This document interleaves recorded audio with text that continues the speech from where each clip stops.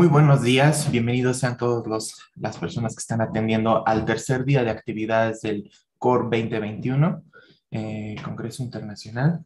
Este, el día de hoy tenemos eh, el honor de empezar las actividades con la conferencia llamada Mobile Robot Behaviors Derived with Genetic Algorithms, eh, comportamientos de robots móviles derivado de algoritmos genéticos. esta, esta conferencia será impartida por el doctor Jesús Savage, el doctor Jesús Savage eh, hizo su doctorado en ingeniería eléctrica en la Universidad de Washington en Seattle. Eh, hizo su maestría en ingeniería eléctrica en la Universidad Nacional Autónoma de México. Es también fundador del Laboratorio de Biorrobótica de la UNAM desde el 2003. Es presidente de la Federación Mexicana de Robótica del 2010 al 2012. Es el copresidente de Robocop 2012 en la Ciudad de México y presidente del Departamento de Procesamiento de Señales desde el 2020 hasta la actualidad en la UNAM. Eh, por lo mismo, pues para, para, nosotros es un honor que el día de hoy nos haya podido acompañar y nos pueda presentar parte de su trabajo. Doctor Jesús, buenos días, ¿cómo está? Hola, buen, muy buenos días. Eh, muchas gracias por la invitación. Entonces, este, en cuanto usted gusta empezar, doctor. Sí, ya, ya, ven todos, ven todos mi presentación. Sí, su presentación ya se ve, doctor. Ok, bueno, entonces voy a comenzar. Bueno, buenos días a todos. Eh, lo que yo les voy a platicar es sobre una investigación que hemos estado haciendo en la Facultad de Ingeniería eh, de la UNAM, en el laboratorio de biorrobótica. Y esta investigación tiene que ver cómo logramos tener comportamientos nuevos de, de robots usando algoritmos genéticos. En esta investigación ha participado el doctor Stalin Muñoz y el doctor Marco Negrete. El doctor Stalin Muñoz está ahorita en, Austria. Ok, bueno, entonces, pues este es lo, que voy a ver. Primero eh, vamos a ver una introducción. Luego vamos a ver los comportamientos de robot sin memoria para evadir obstáculos, utilizando campos potenciales. Después lo mismo, pero usando máquinas de estado finitas y después vamos a ver utilizando el concepto de cadenas de Markov ocultas. Les voy a mostrar los resultados y las conclusiones. Bueno, primero vamos a dar una introducción. Eh, ¿Qué se conoce como los comportamientos reactivos de los robots? Bueno, en primer lugar, están basados en el comportamiento que tienen los insectos. Aquí no hay una representación del medio ambiente.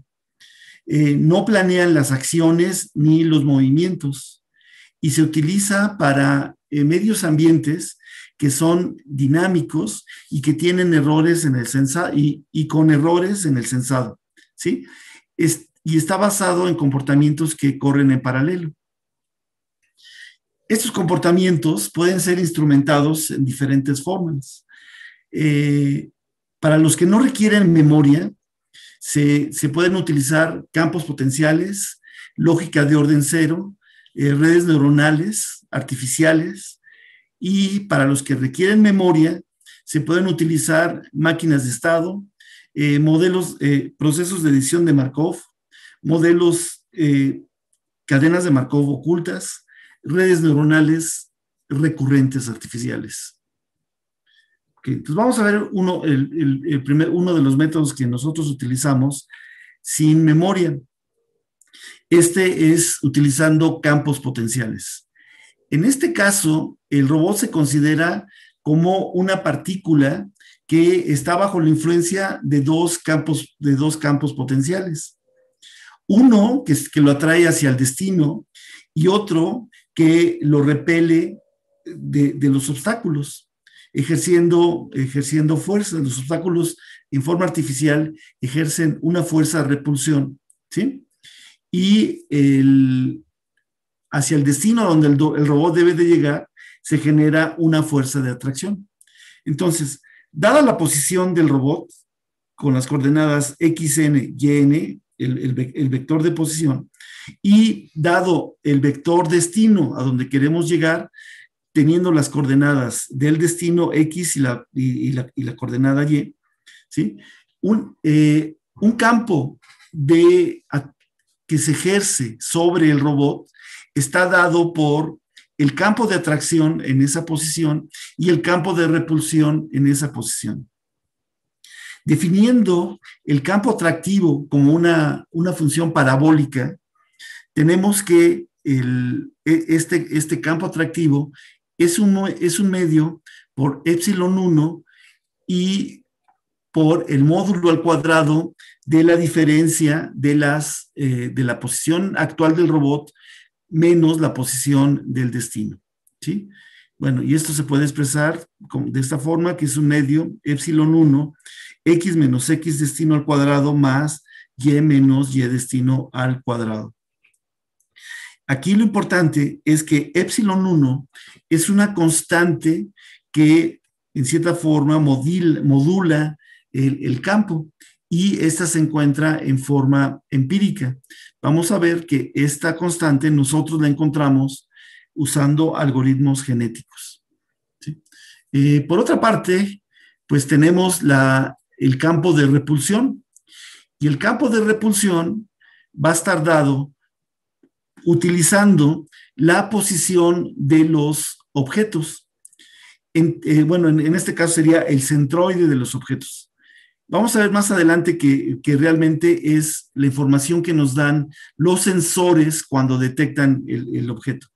Bueno, entonces aquí lo que tenemos es una relación inversa, ¿sí? Eso quiere decir que entre más cerca esté el objeto del, eh, el, perdón, el robot del objeto, del centroide del objeto, entonces esta relación, uno, entre la magnitud de la posición del robot, el vector de posición del robot, menos el vector centroide de la, de la posición del, del, obstáculo, ¿sí? Entre este número sea más pequeño, entonces este valor va a ser muy grande. Y bueno, menos uno entre d cero, donde d cero es la distancia de influencia del obstáculo. Esto quiere decir que obstáculos que están muy lejos del robot no tendrían eh, eh, un efecto, como, como se puede ver ahorita en esta parte. ¿sí? Bueno, aquí vemos que tenemos esta distancia de cero y también tenemos esta constante eta.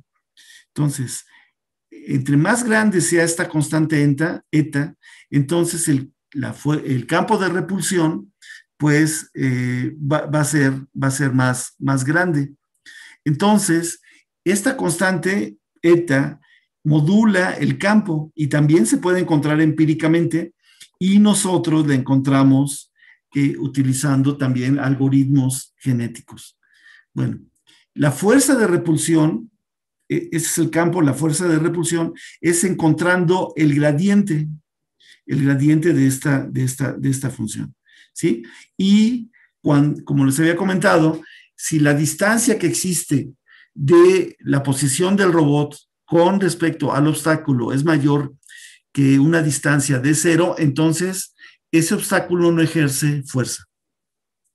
La fuerza total que se ejerce en el robot en la posición Q está dada por el gradiente de los campos. Entonces tenemos el gradiente del campo de atracción, que sería la fuerza de atracción en la posición Q, más una sumatoria de todas las fuerzas de repulsión que ejercen todos los obstáculos que se encuentran en una vecindad del robot. ¿Sí? Ok. Y para encontrar la nueva posición a donde debe de avanzar el robot, va a estar dada por una técnica llamada descendiendo por la pendiente más pronunciada o por el gradiente y eh, lo que tenemos es la posición del robot que sería Q de n menos 1 menos una constante delta i que multiplica a la fuerza total, a, la fuerza unitaria de que, es, que es la suma de la fuerza de atracción y de las fuerzas de repulsión. Aquí delta también es una constante y por lo regular se mantiene fija y es el tamaño de avance del robot. Entonces aquí podemos ver en, este, en esta figura cómo tenemos el, robot en esta posición y queremos que el robot llegue a este, a este destino. ¿sí? Entonces aquí lo que vemos es que el destino genera eh, este como si fuera un hoyo, imagínense que esto es una canica, el robot es una canica, y esto es a donde queremos que entre la canica o, una coladera, en, no sé, en una, en una regadera, eh, el, espacio está hecho de tal forma que las gotas fluyan hacia la coladera. Entonces, es el mismo concepto. Y los obstáculos repelen al, al, robot. Entonces, la suma de, los vectores, del vector de atracción y de los vectores de repulsión es lo que me genera el movimiento. Bueno, ok. Entonces, en el comportamiento anterior, no se requiere tener memoria. Esto quiere decir que no sabemos qué es, qué fue lo que hizo el robot en un instante, eh, en, un momento anterior, ¿sí? Eh, hay otros comportamientos que sí requieren esto. Y este me lleva al concepto de máquinas de estado o redes neuronales eh, recurrentes o los procesos de edición de Markov o cadenas de Markov ocultas. Entonces, eh, para, una máquina, para tener una máquina de estados, quiere decir que esa máquina de estados va a ejecutar un algoritmo. ¿Ok? Entonces, aquí lo que tenemos, por ejemplo, es un robot que tiene eh, dos sensores que le indican si hay objetos en el lado izquierdo o en el lado derecho de él. Ahora, la política, cuando tengamos el caso donde no hay nada enfrente del robot, no hay ningún obstáculo enfrente del robot, entonces que avance hacia adelante. Entonces aquí el robot está en este estado, se checa el sensor izquierdo, se checa el sensor derecho, y si no hay nada, los sensores me van a dar como un valor cero, entonces decimos que el robot va a ir hacia adelante. Cuando tenemos el caso donde el sensor derecho me está indicando que hay un obstáculo y el sensor izquierdo me, indica que no hay obstáculo, entonces la política es detener al robot y que se vaya hacia atrás y que gire hacia la izquierda. Y entonces esto lo tenemos en esta rama del algoritmo, donde el robot se detiene, se va hacia atrás, gira hacia la izquierda. Si estuviéramos en el caso donde el sensor izquierdo detecta el obstáculo, y el derecho no detecta el obstáculo, entonces la política es, ok, vete para atrás, detente, vete para atrás y vete hacia la derecha. Entonces, esta, esta sería esta rama. En el caso que el robot encuentre el obstáculo enfrente de él, pues una política es, ok, vete hacia atrás, bueno, detente, vete hacia atrás, gira dos veces porque estos giros son de 45 grados para girar 90 grados, vete hacia adelante y vuelve a girar hacia la derecha otros 90 eh, grados para que eventualmente se, va, se va del obstáculo. Entonces, esta rama nos detenemos, nos vamos hacia atrás, hacia la izquierda, hacia adelante y luego hacia la derecha. Ok. Hay varias formas de construir eh, las, máquinas, las máquinas de estado. Una forma es utilizando una, tabla o lookup table, ¿sí? Y esto se puede implementar eh, muy bien utilizando este hardware, como por ejemplo podría ser un FPGA, o también se puede hacer con, código, ¿no? Con, código, con, lenguaje de alto nivel. Entonces aquí la idea es, en, este método, utilizando memorias, lo que tenemos es una tabla donde está configurado el siguiente estado donde debe de ir el robot y las salidas que va a generar. El siguiente estado, eh, eh, esta información, una liga, junto con las entradas, me forma la dirección de memoria donde se encuentra el estado siguiente. O de la tabla, me, encuentra un índice que me indica cuál es el estado, el estado siguiente. Entonces, utilizando este método y dependiendo del número de estados, cada estado se representa con logaritmo en base 2 de ns bits, que sería nb, y entonces el número de localidades de memoria utilizado es el, número de eh, ns más el número de, entrada de número de de entradas que tenemos de los sensores. Y el número de bits para codificar las salidas es logaritmo en base 2 del número de acciones. Por ejemplo, para el ejemplo que acabamos de ver ahorita, tendríamos que, para representar la acción de, que el robot se detenga, lo podemos representar con 000, que vaya hacia adelante 4 centímetros es 001, que vaya hacia atrás 4 centímetros es 010, que gire hacia la izquierda 45 grados es 011, que gire hacia la derecha sería 100. Entonces, cada localidad de memoria requiere n más NO bits para indicar el estado siguiente y las acciones. O sea, NB bits para indicar el estado siguiente y NO para indicar las acciones. Entonces, para el ejemplo que acabamos de ver ahorita, ¿cómo codificaríamos este estado? Entonces, este estado, que sería el estado 00, ¿sí?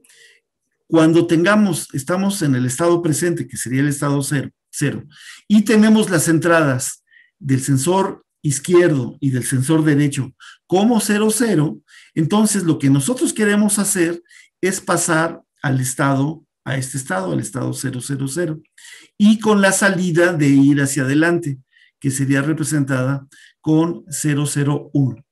¿Ok? Ahora, estando en el estado 0, y si la entrada eh, izquierda me da un 0, pero la derecha me da un 1, ¿sí? que sería este caso, entonces el estado siguiente es el estado 1 e iríamos al, eh, eh, aquí se indicaría el 001 y las salidas es que el robot se detenga, que está, aquí tenemos esta salida condicional. Para el caso, que sería esta rama, ¿sí? que tenemos el sensor izquierdo vale 1 y el derecho vale 0, entonces el estado siguiente es el estado 3 y tenemos en representación binaria como 0011 y la salida 00. ¿Ok? Y por último, cuando tengo los dos sensores eh, prendidos, ¿sí? Entonces vamos a ir al estado 5 y con estas salidas. ¿Ok? Bueno, fíjense que esto ya me da, empieza a dar una pauta para indicar que yo puedo cambiar un algoritmo con el, con el solo hecho de cambiar algunos de estos bits. ¿no? Si yo cambiara, por ejemplo, este bit y este lo convirtiera en cero, entonces en lugar de ir al estado 1, iría al estado 4. ¿sí? Y aquí, si yo pongo un 1 aquí, en lugar de generar la salida 001, generaría la salida 010. Entonces, de esta forma, esto me está indicando que si tuviera alguien que generara esta tabla, ¿sí? Ya podría empezar a tener comportamientos eh, reactivos artificiales. ¿Ok? Bueno, en el ejemplo anterior teníamos eh, dos sensores de rango, pero la realidad es que lo que tiene un robot es un anillo de, sensores, ¿sí? De, valores.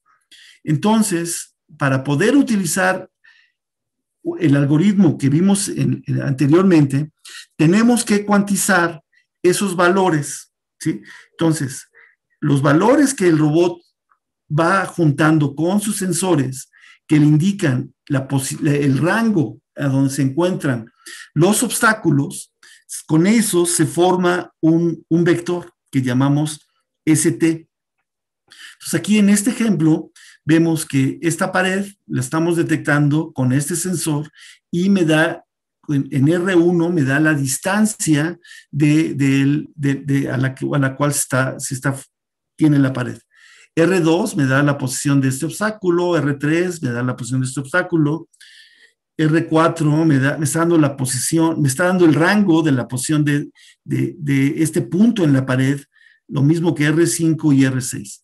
Entonces, juntando esas lecturas en un tiempo determinado, entonces tenemos el vector es ST.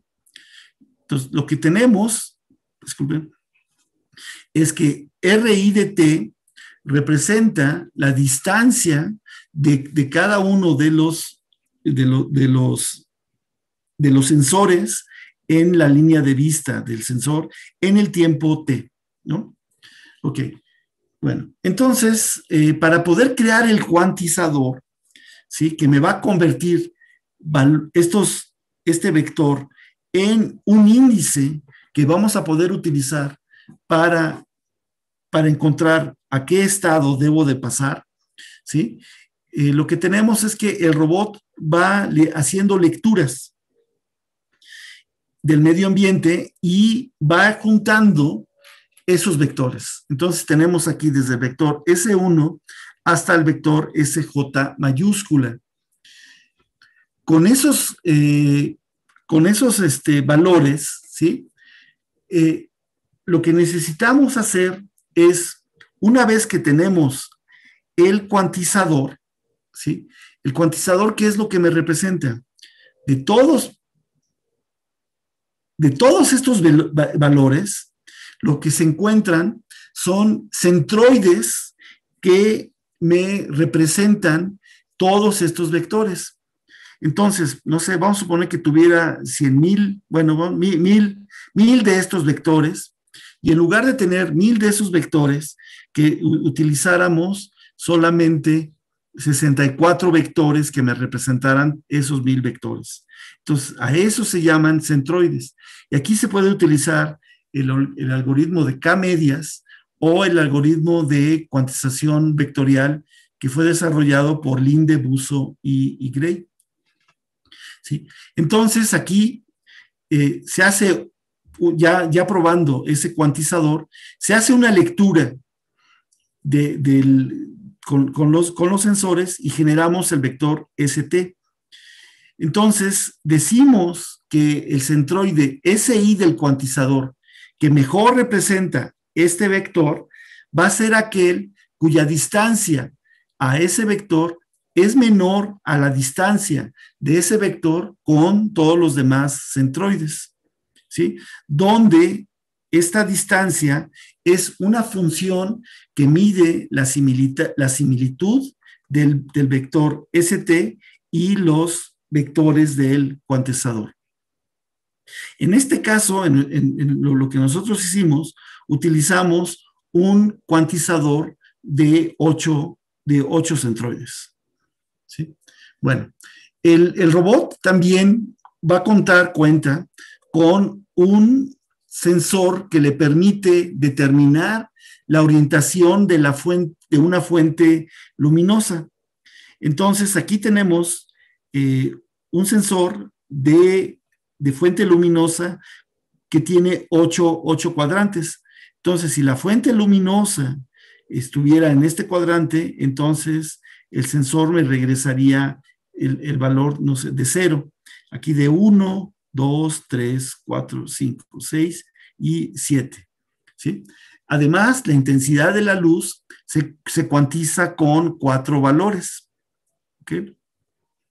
Bueno, entonces esa, fue la, primera parte. Y la segunda parte es eh, métodos probabilísticos para utilizar cadenas de Markov ocultas. Entonces, aquí lo que queremos hacer es convertir una máquina de estados en una máquina de estados probabilística, ¿sí?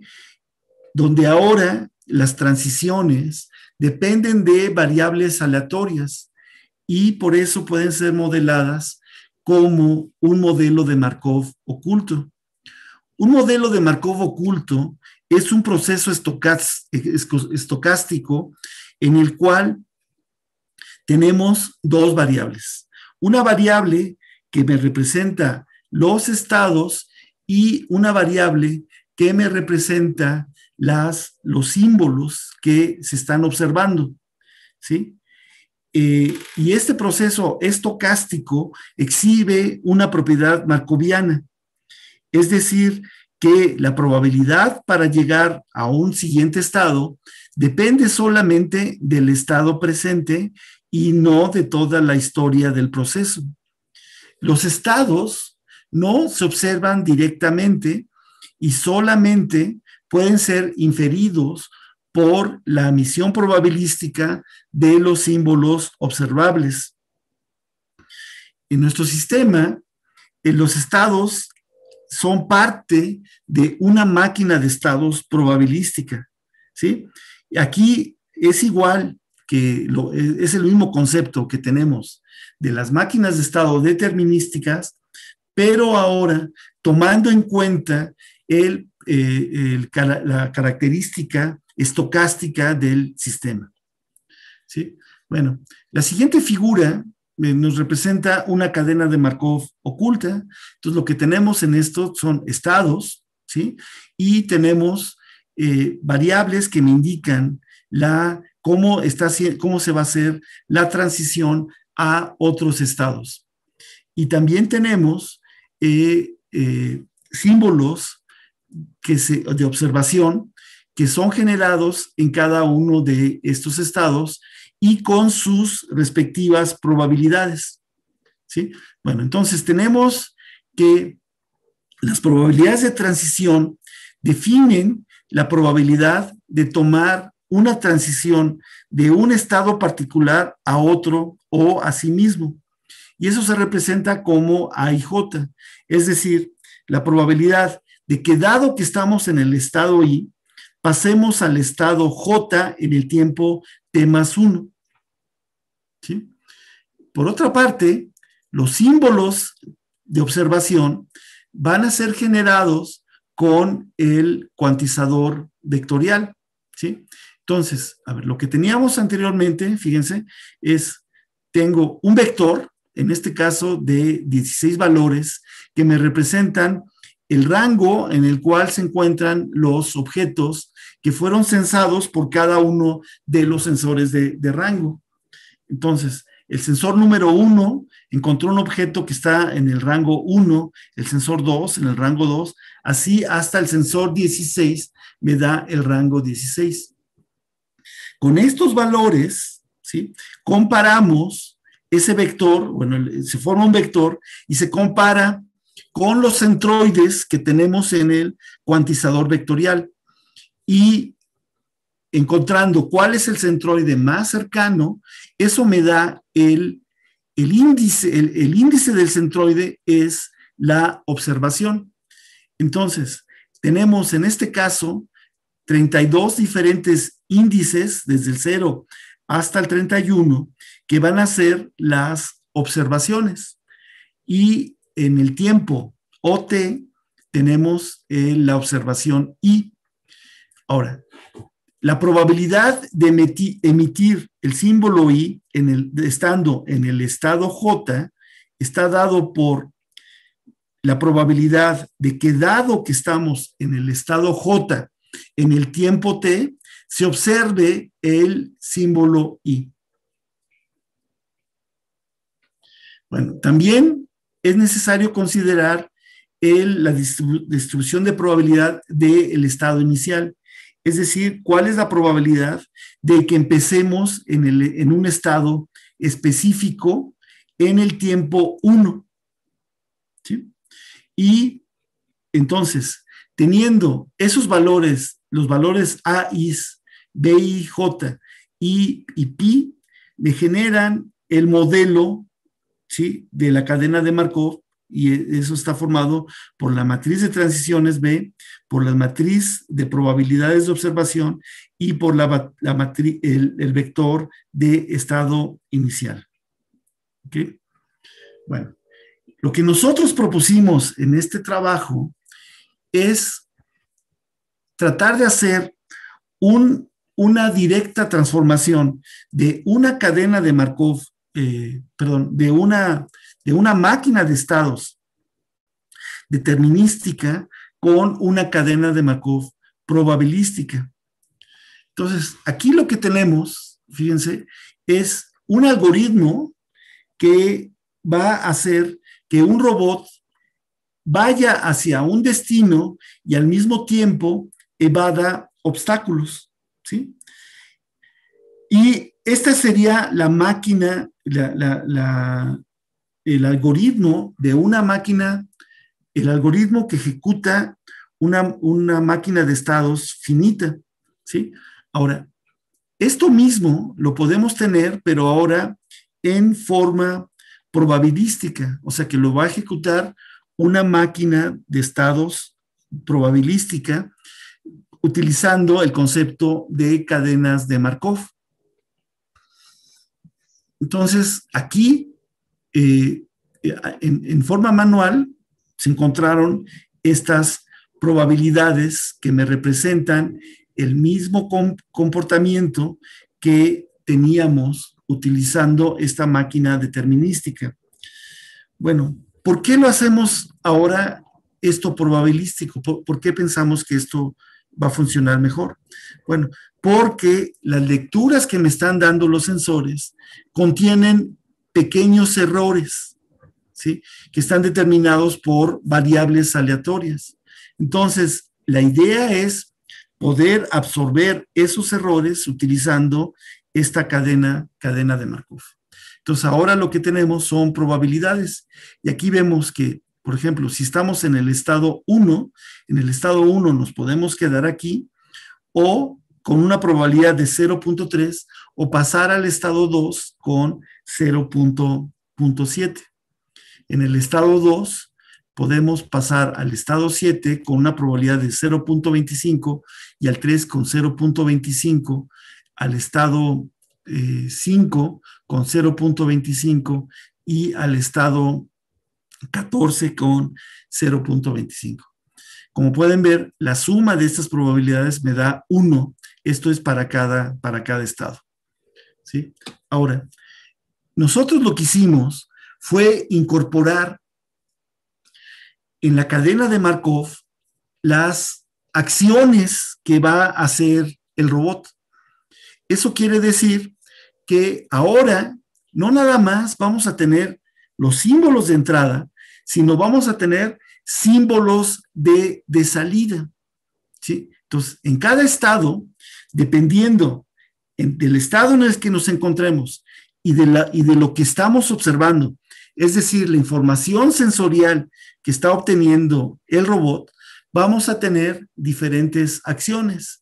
En este caso, las acciones o los símbolos de las acciones que vamos a tener serían ocho y, son estar, para, estar parado, ir hacia adelante, ir hacia atrás, girar 45 grados hacia la izquierda, girar 45 grados hacia la derecha, es decir, girar menos 45 grados, eh, girar y avanzar, eh, todo en, en, una acción, eh, girar hacia la izquierda y avanzar, girar hacia la derecha y avanzar, y girar dos veces, eh, que eso serían menos 90 grados hacia la derecha e ir hacia adelante. Entonces, ahora, esta figura me muestra lo que nosotros estamos agregando a las cadenas de, de Markov. ¿Sí? Pero ahora, pues necesitamos incorporar esta nueva, eh, estas nuevas probabilidades. Las probabilidades CJ que es las probabilidades de que dado que estamos en el estado J y que con los sensores se generó el símbolo I, que tengamos la salida, la salida K en el tiempo, en el tiempo T. ¿Sí? Ok, entonces, ahora, en una cadena de Markov, bueno, en una, en una máquina de estados determinística, en el algoritmo, para determinar cuál es el estado siguiente, se tiene que encontrar, se hace el censado y dependiendo de los valores de las variables de entrada y el estado presente, generamos el estado, el estado siguiente. Bueno, ahora, ¿cómo hacemos esto? ¿Cómo, ¿Cómo encontramos el estado siguiente en una eh, máquina de estados probabilísticas? Bueno, entonces aquí lo que se tiene que encontrar es algo que eh, se encontró antes, eh, se utilizó antes el, el, llamado algoritmo de Viterbi. Alguien que tenga conocimientos de telecomunicaciones debe de conocer ese algoritmo. Y aquí la idea es que eh, vamos a tener una variable delta t que me indica la máxima probabilidad de pasar al estado J, dado que estábamos en cualquiera de estos estados. Entonces, aquí la, idea es que el estado en el, el, estado en el tiempo t va a ser j si se tiene una, la máxima probabilidad de que podíamos haber estado en cualquiera de estos estados multiplicado por las probabilidades de transición de que dado que estamos aquí en este estado, pasamos al estado J. Dado que estábamos en el estado 1, pasamos al estado J. Entonces, dado que estamos en el estado 2, pasemos al estado, al estado J y, así sucesivamente. Bueno, entonces si quieren, déjenme pasar esto. Sí. Bueno, entonces ahora cómo combinamos todo esto que acabamos de ver con robótica evolutiva. Bueno, robótica evolutiva es un término que se utiliza para generar eh, cerebros artificiales y morfologías para robots autónomos y está inspirada en la eh, teoría de Darwin, teoría de evolución de Darwin. Bueno, y en, esta eh, robótica evolutiva, pues hay varios, objetivos que se quieren lograr, ¿no? Evadir obstáculos, seguir paredes, seguir objetivos, eh, con, visión también poder encontrar cuáles son las mejores técnicas de visión para poder reconocer objetos, personas y lugares. Y bueno, eso me lleva a la detección de objetos. Entonces, en nuestro caso, es, eh, nos, hemos concentrado en cómo evolucionar algoritmos de robots para ir a objetivos específicos, que sería una fuente luminosa, y al mismo tiempo evadir obstáculos, usando los comportamientos que vimos en las secciones anteriores. Bueno, entonces miren, aquí la idea es que vamos a tener una población grande de diferentes individuos. Y ahorita vamos a ver para cada uno de los métodos que, vimos, cómo codificamos cada uno de esos individuos para que el algoritmo genético me genere nuevos individuos. Entonces, vamos a ver que algunos de esos individuos, empezando en, un origen, algunos de ellos simple y sencillamente no se movieron o simple y sencillamente se pusieron, se pusieron a girar. ¿sí? En cambio, hubo algunos de ellos que sí avanzaron hacia la, la salida. Entonces, de una población se van a escoger a los mejores individuos, a los mejores individuos que tuvieron un comportamiento dada una medida de desempeño esos individuos se seleccionan y parte de ellos se, combinan para formar individuos, individuos nuevos. ¿sí? Entonces aquí tenemos de estos dos individuos que, fueron, en este caso, los mejores, ¿sí? se van a combinar para que partes de ellos ahora eh, formen un nuevo individuo aquí y otro individuo acá. Y después eh, hay mutaciones de estos individuos, se van a modificar por medio de mutaciones, o a veces no, no, entran las mutaciones, y entonces ya tenemos estos individuos nuevos. Entonces, de una población muy grande, se seleccionan los mejores individuos y con esos mejores individuos hay una cruza entre ellos y hay mutación para poder generar una nueva población. Esto se repite durante varias generaciones hasta que tenemos uno o varios individuos que resuelven el problema. Entonces, para lo que acabamos de ver, ¿sí? se van a generar en forma aleatoria el individuos. Y los individuos B1, B2, BL, en donde cada uno de esos individuos va a tener como cromosoma un conjunto de bits con ceros y unos. Esos, estos bits se van a juntar con, en pequeños segmentos que me van a representar eh, comportamientos, que me van a representar cómo se generan, cómo, se ejecutan los, los comportamientos. ¿sí?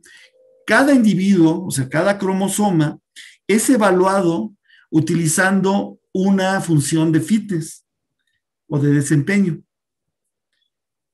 Se seleccionan los, los, los individuos que tengan la, mejor, las mejores funciones de fitness y se crea una nueva población utilizando selección, cruza y mutación.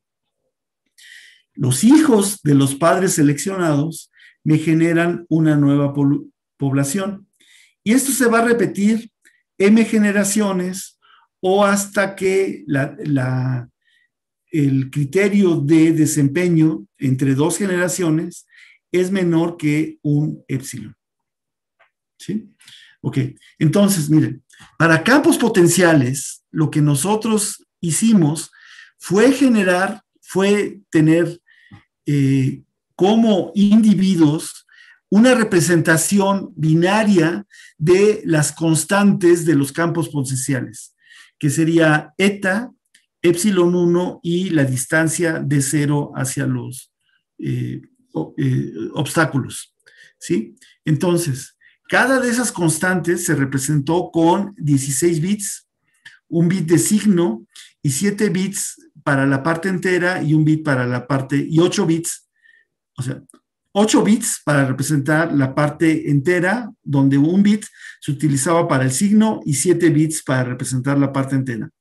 Y los restantes 8 bits para representar la parte fraccionaria. Entonces, estas, con estas tres variables, con 48 bits se podían representar cada individuo. Eh, se tuvo una población de 100 individuos y la siguiente tabla, la siguiente figura, me está representando el, eh, la función de desempeño a medida que fueron avanzando las, las poblaciones. Aquí podemos ver que como tenemos muy poquitos bits que, que tenemos que encontrar, el, los, estos, eh, aquí estoy mostrando el promedio y el mejor individuo. Este es el promedio de la población y este es el mejor, el mejor individuo. Vemos que muy rápidamente converge el algoritmo para encontrar el mejor individuo. Ok. Hicimos lo mismo para las máquinas de, estados determinísticas y utilizando memorias o tablas lookup table, ¿sí? Y aquí lo que tuvimos es que evolucionamos el individuos que tenían 14 estados. Esos 14, perdón, 16 estados. Y cada estado puede ser representado con 4 bits teníamos 16 para las entradas, 16 valores de rango, los cuales eran introducidos a un cuantizador vectorial con 8 centroides. Y con el índice del, centroide más, más cercano, se utilizaba para formar, junto con el, estado, el estado siguiente y el valor de cuantización del del, del cuadrante en donde se encuentra la luz y el valor cuantizado de la fuente luminosa, eh, con eso utilizábamos la entrada. Usando todos estos valores, se utilizan para encontrar el índice que busca en la tabla.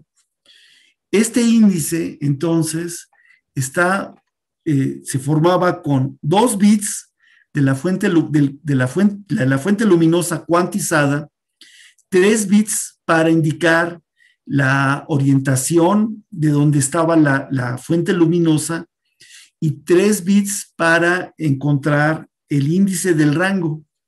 ¿sí? Más cuatro bits que me representan el estado siguiente. En total me da 12, 12 bits, ¿sí?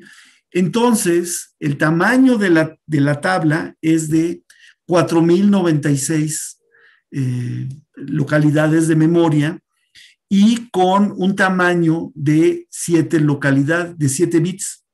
4 bits que me representan el estado siguiente y 3 bits que me indican la salida. Entonces, aquí, fíjense, para cada individuo, pues necesitamos 28.672 bits para representar su cromosoma. Y aquí vemos la función de desempeño. Entonces, cómo fue evolucionando la población en su promedio y el mejor, el mejor individuo. Entonces aquí eh, podemos ver que pues necesitamos más, más generaciones para que converjan, para que, para que llegue a un valor de convergencia. Bueno, y esto tiene que ver porque aquí estamos evolucionando individuos con 28.672 bits comparados con lo que teníamos antes, 48 bits. Bueno, entonces, ahora lo que hicimos pues fue evolucionar nuestras eh, máquinas de estado probabilísticas, ¿sí? Entonces aquí en nuestras máquinas de estados probabilísticas teníamos 16 eh, estados, ¿sí? El número de símbolos de observación, 256, el número de salidas, 8, y el número de bits por variable sería, sería 3. ¿Ok? Bueno, entonces, pues lo que encontramos fueron encontrar la matriz A, la matriz B y la matriz C de la cadena de Markov y, el vector pi. Entonces, en total, pues aquí se tenían eh, 111.408 bits por individuo. Y aquí vemos entonces la, la, convergencia y aquí nos damos cuenta que pues el tamaño de, de bits que teníamos que encontrar es mucho mayor. Bueno, el sistema se probó, ¿sí? O sea, para poder tener, generar comportamientos en algoritmos genéticos, si lo quisiéramos hacer como lo hizo la naturaleza con los seres vivos, pues nos llevarían millones de años. Entonces, para esto, ¿qué se necesitan? Pues se necesitan utilizar simuladores. Entonces, tenemos un simulador que me genera ambientes eh, simulados con polígonos, ¿sí? Y el, robot se ponía en una posición inicial y se ponía en forma aleatoria la posición destino y el robot empezaba a navegar y con sus sensores iba detectando el medio ambiente. Entonces tenemos medios ambientes generados en forma aleatoria y utilizando polígonos y medios ambientes utilizando eh, medios eh, ambientes tipo oficina. ¿Ok? Entonces, aquí lo que aquí poníamos al robot estaba en una posición inicial y, llegaba al, al, destino. Aquí ponemos este otro, este otro robot y aquí llegaba. Estos son robots que ya son capaces de resolver el problema. ¿Sí? Bueno, entonces, para los, eh, aquí vemos el comportamiento de, los robots, el promedio, ¿sí? De, de los robots para medios ambientes que son eh, con polígonos. Y aquí vemos que el que tuvo mejor desempeño fue el de las máquinas de estado determinístico. Lo mismo también para, para el, eh, medios ambientes tipo oficina. ¿Sí? El que tuvo el peor desempeño fue el de, el de, campos, el de campos potenciales. Bueno, hay un problema real que ahora es, se llama el reality gap, ¿sí? Todo esto que evolucionamos con el simulador, pues tiene que ser probado con un robot de a de veras.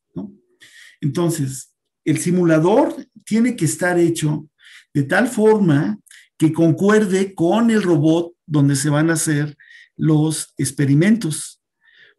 Y eh, ahí es, es un tema de investigación muy interesante porque entonces cada vez se tienen que hacer mejores simuladores para poder tener que este reality gap sea eh, la, la, diferencia entre lo simulado y lo verdadero sea mínima.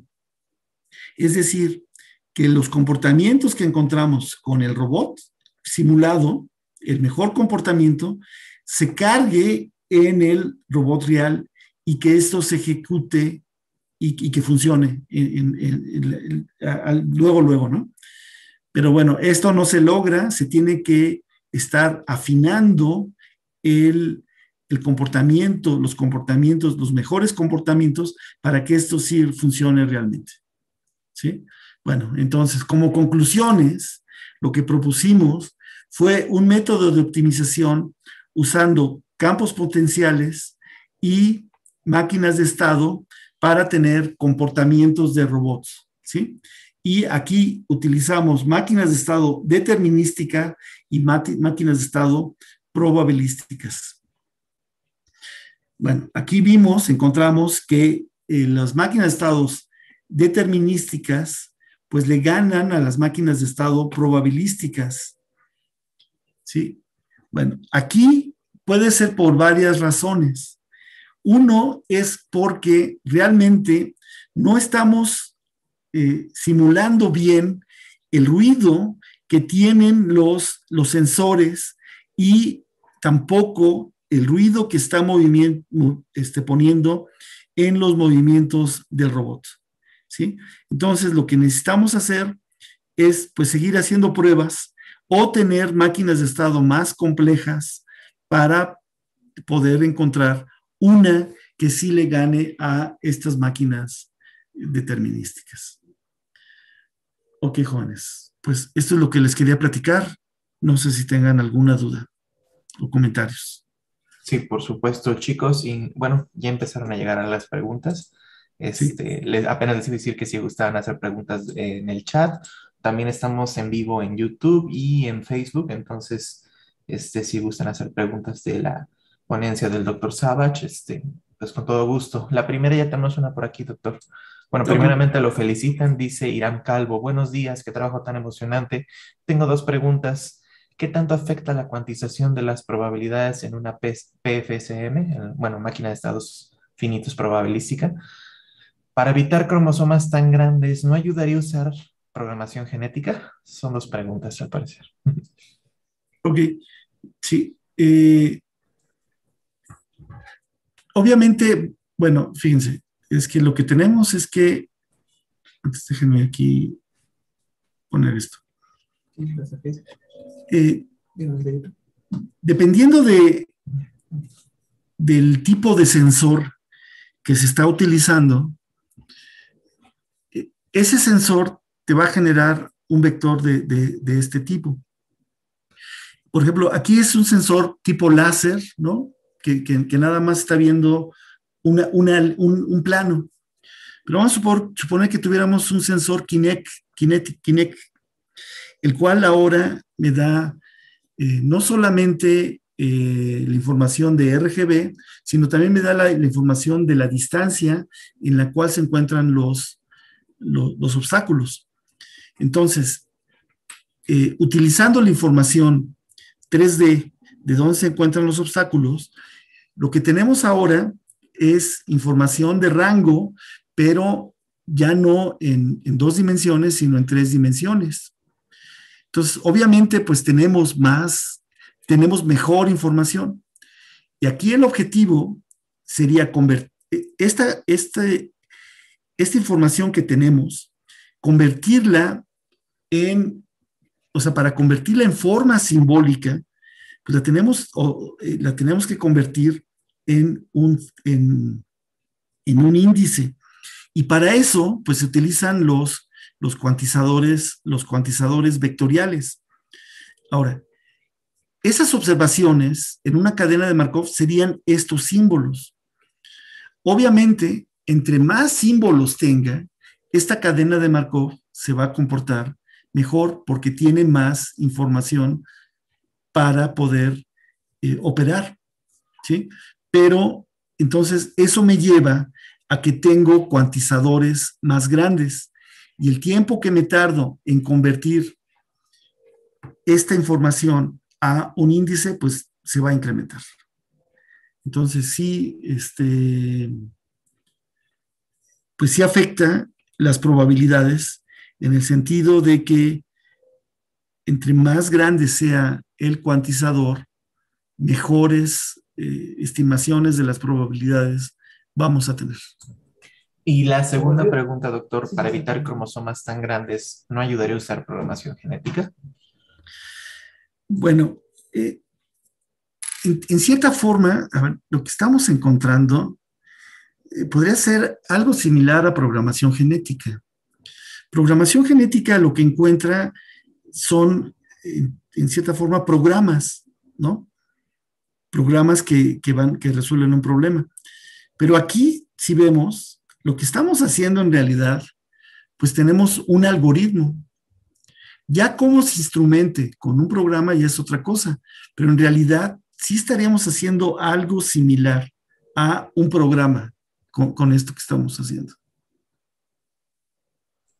Sí, por supuesto, doctor. Preguntan también por aquí por YouTube. Eh, Sergio Sandoval pregunta, ¿su sistema sería aplicable para diseñar un artefacto que evite obstáculos para personas invidentes? Sí, sí, sí podría ser. Nada más que sería cosa de ver cómo, cómo le instalas a esta persona invidente los sensores que van a, a determinar cuáles son los obstáculos. Sí, por supuesto. Eh, pregunta José Eduardo Cardoso Plata. Buen día. ¿En cuántas generaciones el robot alcanza la meta y qué simulador utilizan? Bueno, eh, para, para, estos ejemplos que, para lo que siempre, para estas pruebas, aquí podemos ver, eh, por ejemplo, para, un para campos potenciales, casi fue inmediato, o sea, como con 10 generaciones, ya encontró ya, ya encontró, encontró, la, encontró la meta. ¿sí? ¿Y qué, otra parte fue la pregunta, perdón? La otra parte sería, ¿qué simulador están utilizando? Pues el de nosotros. Este, este lo hicimos nosotros. Aunque, eh, bueno, tenemos, este es nuestro simulador que, que utiliza TK Python, ¿sí? y bueno, y con muchos este, este, programas que están escritos en C, C++,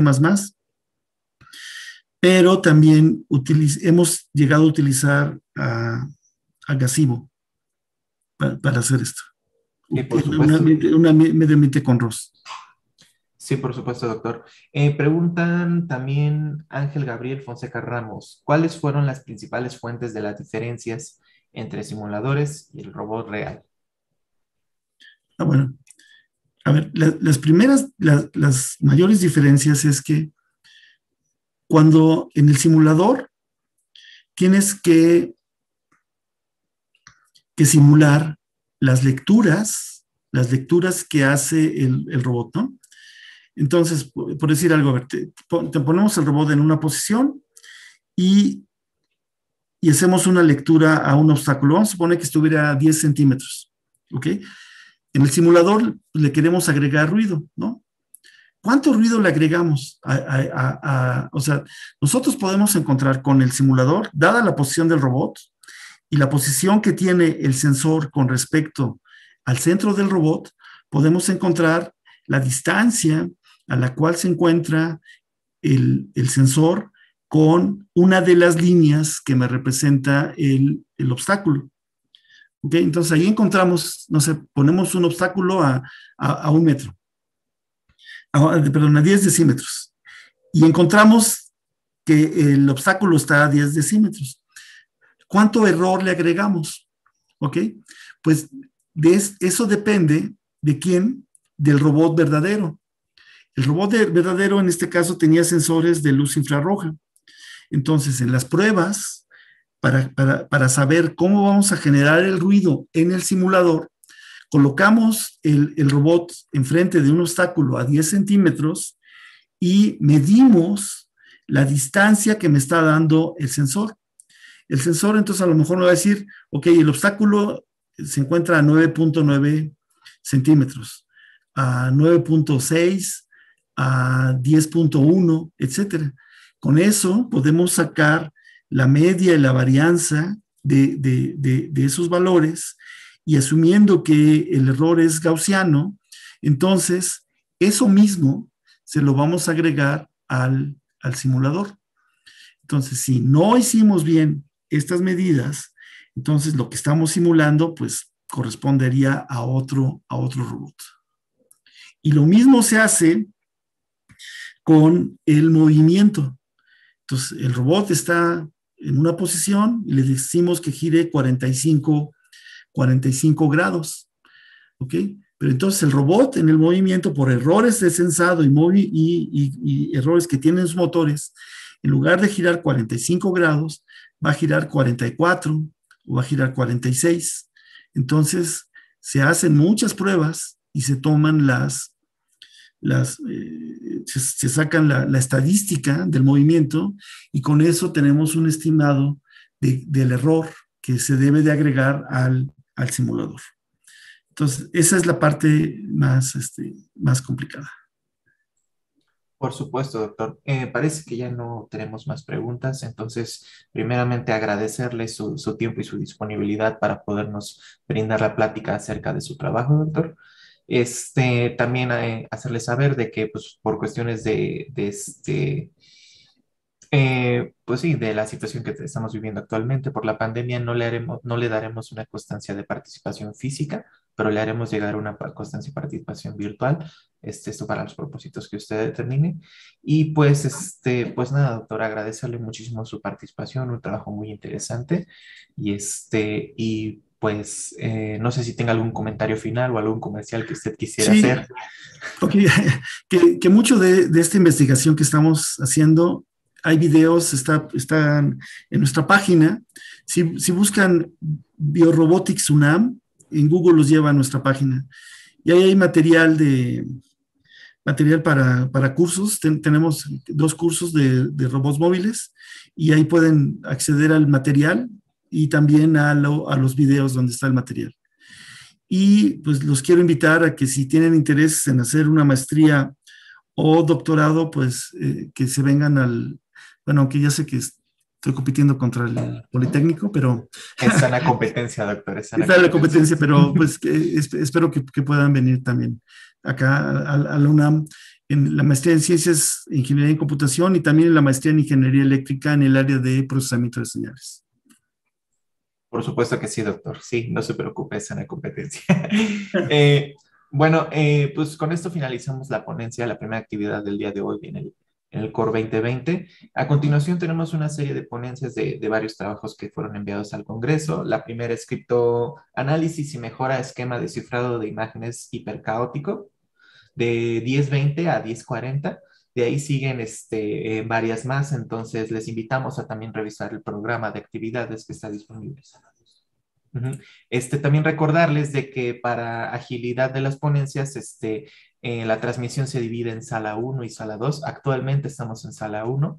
Entonces, este, quien, quien guste entrar a las ponencias que se van a dar en sala 2, este, puede revisar aquí mismo en Zoom o en las distintas plataformas que estamos transmitiendo. Estamos transmitiendo en Facebook, estamos transmitiendo en YouTube. Y este, y pues nada, siguientes conferencias magistrales a las 11.40, de 11.40 a 12.40 tenemos la conferencia magistral, computadoras que pintan, escriben y componen, hacia dónde vamos, del doctor Rafael Pérez y Pérez. Y por la tarde, a las 2 de la tarde, de 2 a 3, la conferencia magistral de aplicaciones para el bienestar humano basadas en Internet de las Cosas, servicios a la nube e inteligencia artificial, impartida por la doctora Jessica Beltrán Márquez. Entonces, este, pues más que nada, eh, desearles un bonito día y que por favor nos sigan acompañando en todas las actividades que tenemos planeadas para ustedes en este Congreso CORE 2021.